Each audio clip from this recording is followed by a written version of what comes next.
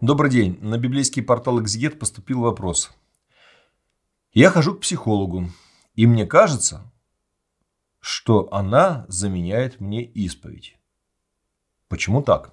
Ну, когда кажется, надо креститься. Такая хорошая поговорка на Руси была. Э, психолог может тебя послушать. Да.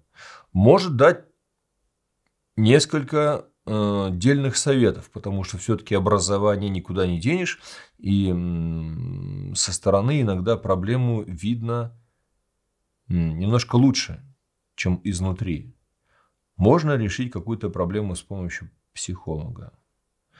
Э, психолог может назначить какой-нибудь тренинг, может порекомендовать обратиться э, к какому-то другому врачу, который может медикаментозно как-то решить твою проблему. Но при всех плюсах психолога у психолога нет возможности прощать и разрешать грехи. А задача исповеди заключается не в том, чтобы прийти к батюшке и обсудить с ним все вопросы. Хотя и, в принципе, с духовником можно обсуждать вопросы, как э, с, с психологом. Но задача исповеди заключается в том, чтобы человек пришел и попросил у Бога прощения. И когда человек попросил у Бога прощения, человек преклоняет голову к Евангелию, священник накладывает на голову и Петрохиль и читает разрешительную молитву, что дает основание человеку полагать, что грех, совершенный им, прощен и разрешен, и больше никогда за этот грех Бог не будет накладывать на него никакой санкции. Вот этого, к сожалению, большого у психолога нет.